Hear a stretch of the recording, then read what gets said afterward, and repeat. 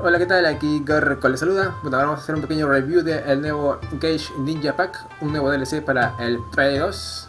Este DLC trae bastantes cosas interesantes, así que bueno, primeramente vamos a empezar revisando las armas. En este caso tenemos el Lieben Sauer, que es un nuevo rifle francotirador para este juego. Tenemos ya, con este ya serían 6 francotiradores para nuestra colección de armas. Así que bueno, a ver, eh, primeramente lo que más destaca en este arma, eh, vamos a sacar las estadísticas del arma, es que tenemos eh, una cadencia de fuego bastante alta, bastante superior al resto de francotiradores. Es un arma semiautomática. Y bueno, en lo que es daño, precisión y estabilidad no destaca con respecto a otros francotiradores, pero lo que sí trae es bastantes accesorios. Tenemos acá, por ejemplo, el Langer Barrel que mejora un poco la precisión y también tenemos el Dumpster Barrel que en este caso, como pueden ver aquí, es un cañón con silenciador. En cuanto a lo que es agarres, tenemos acá el Leicester Grip, que en este caso mejora la estabilidad, pero reduce un poco el nivel de ocultación. También está el Subtiller Grip, que reduce la estabilidad, pero ayuda a mejorar el nivel de ocultación. Y finalmente el Wildwood Grip, que ayuda a mejorar en 2 el nivel de estabilidad. A ver, en la práctica no hay mucho que decir en realidad de este francotirador. Tiene una cantidad de munición bastante aceptable, 50 balas total, un cargador de 10, pero sin duda lo que más destaca este arma es que tiene una buena cadencia de fuego, lo cual hace que sea útil para aniquilar a varios enemigos en cadena. Así que bueno, aquí tenemos el nuevo Cross Vertex, que está basado en el famoso subfusil Vector, el cual es conocido por haber aparecido en muchos juegos shooter y demás.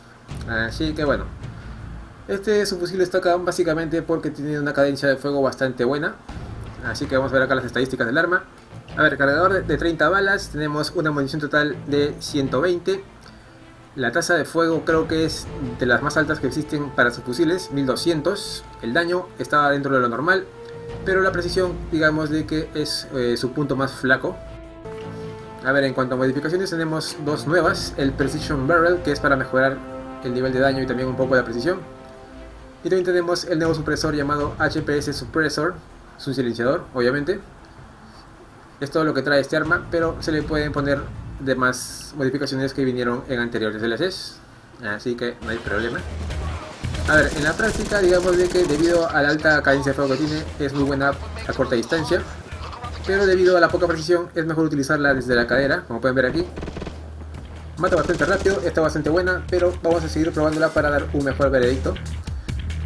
A ver, tenemos también eh, un nuevo arma secundaria, en este caso es la Pistol Crossbow, una especie de ballesta muy buena para sigilo, así como también para combate, bastante versátil. Ahí está. Ok, a ver, estadísticas del arma, tenemos eh, munición, una sola, pero es capaz de almacenar hasta 25 flechas. El daño es de 100, está bastante bueno, así como también la precisión y la estabilidad, y también el nivel de ocultación que digamos se puede mejorar para así poder utilizarla en misiones en las cuales se requiera el más estricto sigilo. Muy bien, entonces vamos a ver los accesorios que trae este arma. Tenemos acá el Explosive Bolt, que es una especie de dardo o flecha explosiva. Esta flecha, eh, una vez lanzada, es destruida por la explosión, así que no se puede volver a utilizar. Cosa que no ocurre con la flecha normal, así como tampoco ocurre con la siguiente, que es la flecha envenenada la cual tiene una chance de poder eh, inutilizar a los enemigos, pero esto puede variar dependiendo del enemigo, esto varía de un enemigo a otro, así que no todos los enemigos van a responder de la misma manera al veneno. Ok, a ver, tenemos acá en cañón tenemos el Carbon Limp que ayuda a mejorar la ocultación, así como también el Skeletal Limp que básicamente cumple la misma función que la anterior. A ver, en cuanto a agarres tenemos el Camo Grip que ayuda a mejorar también la ocultación y finalmente el Waldo's Grip que la verdad no se sabe para qué sirve, pero aquí dice que reduce la ocultación en 1. A ver, como dije antes, esta arma puede utilizar tres tipos de munición diferentes. La flecha normal, la flecha explosiva y la flecha envenenada. En este caso vemos que las flechas normales o envenenadas también se pueden recuperar de los enemigos muertos. A ver, eh, de manera adicional también se incluye otro tipo de flecha envenenada, solo que en este caso es para el arco. Esta flecha está disponible para todos, inclusive para aquellos que no hayan adquirido este DLC, así que ya saben, es gratis. Y aquí tenemos la nueva arma arrojadiza para este juego, es la famosa Shuriken o Estrella Ninja. Y bueno, está de puta madre porque se puede utilizar para diferentes ocasiones, ya que estas estrellas también vienen envenenadas.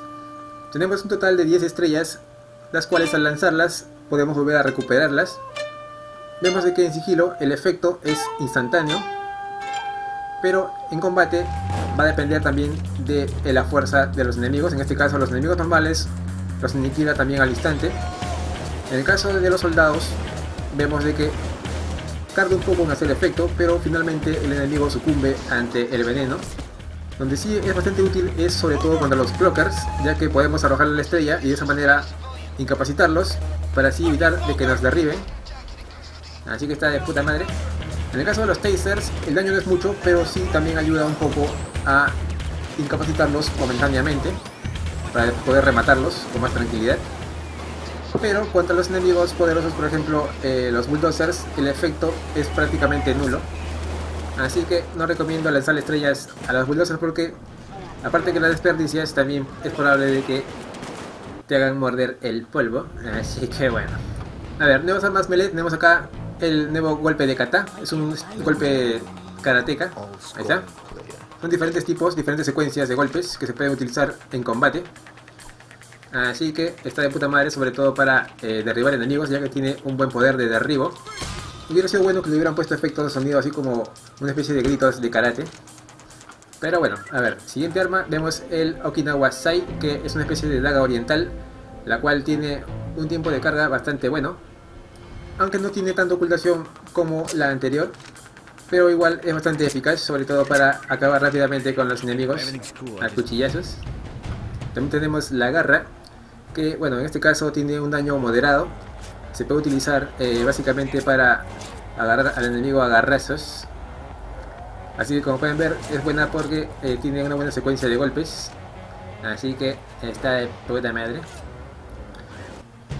Finalmente tenemos el kunai, una especie de cuchillo envenenado pero a diferencia de las estrellas ninja, este de acá no se puede arrojar, así como también la chance de poder incapacitar enemigos con el veneno va a variar también de un enemigo a otro, así que ya saben, traten de no fallar el cuchillazo.